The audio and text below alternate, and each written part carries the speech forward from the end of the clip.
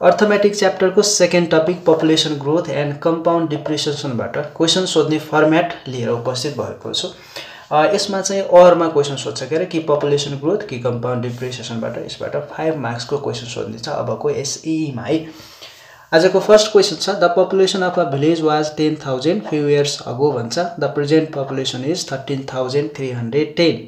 What is the population growth? Population कतिले बढ्यो भन्छ? If the annual growth rate is ten percent how many years ago was the population ten thousand भन्छ? त्यस्तै if the annual growth rate is five percent find the number of population after two years भन्छ? Ten थाउजन्डबाट two इयर्सपछि यति रेटले कति population बन्छ भनेर क्वेसनले सोध्छ थर्डमा फर्स्टमा क्वेसन सोध्छ what is the population growth population चाहिँ कतिले बढ्यो भन्छ? इनिसियल पपुलेसन यति थियो अहिले पपुलेसन यति छ भन्नुको मतलब कतिले बढ्यो? यो माइनस यति। थ्री थाउजन्ड थ्री हन्ड्रेड टेनले बढ्यो। यसमा चाहिँ इनिसियल पपुलेसनलाई चाहिँ पी नटले रिप्रेजेन्ट गर्छ भने जो चेन्ज भएको पपुलेसन हो त्यसलाई चाहिँ पिटीले रिप्रेजेन्ट गर्छ। यो क्वेसनमा यो चाहिँ इनिसियल पपुलेसन यो चाहिँ चेन्ज भएको पपुलेसन भयो है? त्यसो भए फर्स्टको एन्सर चाहिँ three thousand three hundred ten अब त्यस्तै क्वेसन सेकेन्डमा if the annual growth rate is ten percent how many years ago was the population ten thousand भन्छ? यदि ग्रोथ रेट टेन पर्सेन्ट छ भने कति वर्ष पहिले चाहिँ पपुलेसन यति थियो भनेर सोध्छ। पिटी यो भयो पिनट यो भयो रेट चाहिँ टेन पर्सेन्ट हामी टीको भ्यालु झिक्छ फर्मुला चाहिँ यस्तो। P T equals to P naught bracket one plus R upon हन्ड्रेडको power T त्यसपछि भ्यालु रिप्लेस गरौँ। पिटीको भ्यालु यति पिनटको भ्यालु यति। वान प्लस टेन अपन हन्ड्रेडको पावर टी टीको भ्यालु हामीले फाइन्ड आउट गर्नुपर्ने छ यो डिभाइड बाई यो गऱ्यो भने आउँछ one point three three one आउँछ। अनि यसमा टेन डिभाइड बाई हन्ड्रेड भनेर चाहिँ zero point one one plus zero point one चाहिँ वान पोइन्ट वानको पावर टी अब यसमा चाहिँ यो टर्म वान पोइन्ट वानको पावर कति हुन्छ भनेर खोज्दै जानुपर्छ है? वान पोइन्ट वानको पावर थ्री चाहिँ यो टर्म हुन्छ। बेस सेम भयो भने पावर इक्वेट गर्न सकिन्छ टीको भ्यालु थ्री त्यसो भए तिन वर्षपछि चाहिँ टेन थाउजन्डको टेन पर्सेन्ट रेटले पपुलेसन चाहिँ thirteen thousand three hundred ten हुँदो रहेछ। यस्तै question number I I I हेर्नुहोस्। If the annual growth rate is five percent find the number of population after two years भन्छ। यो क्वेसन चाहिँ थ्री मार्क्समा सोधेको छ। माथिका क्वेसनहरू वान वान मार्क्समा सोधेको थियो। अब यसमा रेट दियो टाइम दियो। इनिसियल पपुलेसन चाहिँ टेन थाउजन्ड दियो। भने टेन थाउजन्डको फाइभ पर्सेन्ट रेटले टु इयर्सपछि कति पपुलेसन हुन्छ भनेर क्वेसनले सोधेको छ। यसमा पी नट र पिटीको भ्यालु यदि क्लियरली छुट्याउन सक्नुहुन्छ भने मजाले क्वेसन सल्भ हुन्छ। पिनट भने चाहिँ इनिसियल पपुलेसन है त्यस्तै पिटी भने चाहिँ चेन्ज भएको पपुलेसन बढ्या पपुलेसन अब यो यसरी सल्भ गर्ने initial population ten thousand time two years rate five percent population after T years अथवा population after two years equals to initial population bracket one plus R upon हन्ड्रेडको power T हो time two years दिएको छ। त्यसपछि rate five percent दिएको छ। अब यसमा हामी डिभाइड गर्छौँ। Five divide by hundred equals to plus one equals to त्यसको whole square equals to times ten thousand गऱ्यो भने आउँछ। Eleven thousand twenty five this is the population after two years this is our answer ल त्यस्तै question number two the original value of motor bike is four lakh fifty thousand if its value depreciates by twenty percent at the beginning of each year is the depreciate value in first year what was the value of motor bike after one year after how many years will its value reduce to यति यति भन्छ। यस्तो क्वेसनमा पनि फेरि initial price र price after T years चाहिँ राम्रोसँग चिन्नुपर्ने हुन्छ। जो चाहिँ इनिसियल प्राइस हो त्यो चाहिँ पी नट हुन्छ भने जो चाहिँ चेन्ज भएको प्राइस यसमा चाहिँ डिप्रिसिएट भन्छ प्राइसहरू चाहिँ रिड्युस हुन्छ त्यसमा चाहिँ चेन्ज भएको प्राइसलाई चाहिँ पिटीले रिप्रेजेन्ट गर्छ। यसको पनि डिटेल कन्सेप्ट जान्न चाहनुहुन्छ भने भिडियो लिङ्क डिस्क्रिप्सनमा राखिदिनेछु है। यसमा ओरिजिनल प्राइस भन्छ पिनटको भ्यालु दियो four lakh fifty thousand depreciation rate दिएको छ ट्वेन्टी पर्सेन्ट रेट दिएको छ। अब what is the depreciate value in first year भन्छ? फर्स्ट इयरमा चाहिँ कतिले घट्यो भन्छ? Depreciate value equals to twenty percent of four lakh fifty thousand गर्छ। यसलाई सिम्प्लिफाई गर्दा आउँछ नाइन्टी थाउजन्ड फर्स्ट इयरमा चाहिँ नाइन्टी थाउजन्डले रिड्युस भएको रहेछ।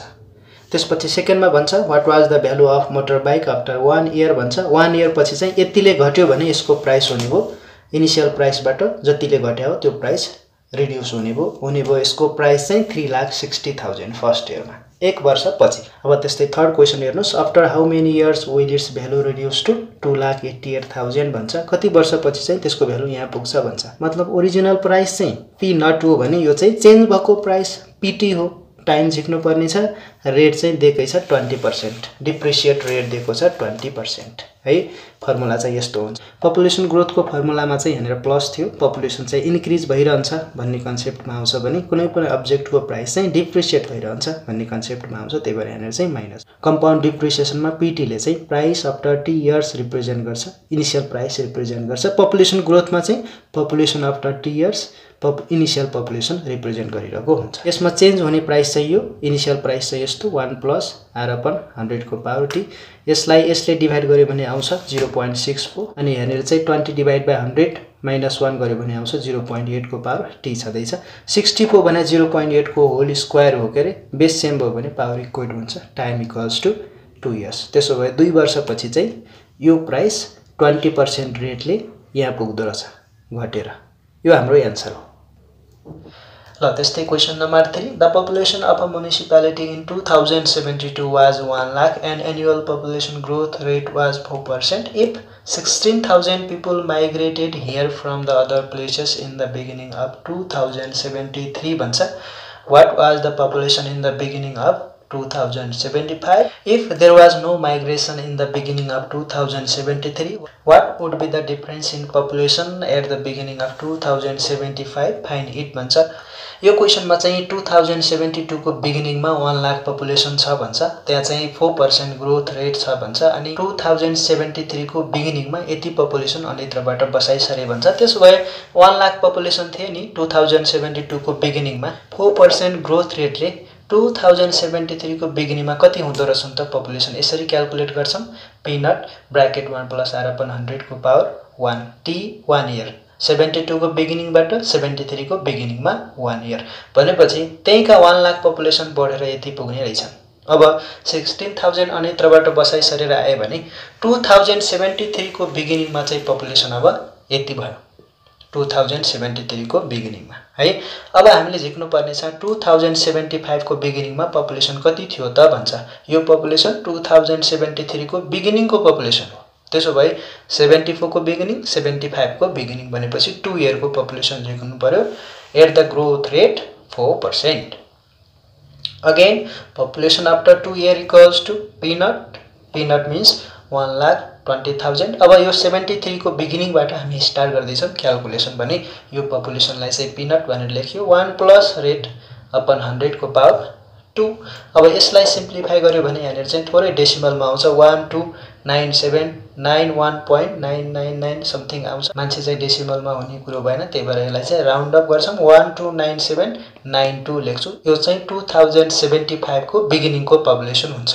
अब त्यस्तै लास्ट पार्ट हेर्नुहोस्। If there was no migration in the beginning of two thousand seventy three what would be the difference in population at the beginning of two thousand seventy five fine at भन्छ। यदि two thousand seventy थ्रीको बिगिनिङमा यति population चाहिँ add भए हुन्थेनन् भने two thousand seventy फाइभमा हुने पपुलेसनको डिफ्रेन्स फाइन्ड आउट गर्नुहोस् भन्छ। मतलब टु थाउजन्ड सेभेन्टी टूको बिगिनिङबाट टु थाउजन्ड सेभेन्टी फाइभको बिगिनिङसम्म थ्री इयर हुन्छ नि।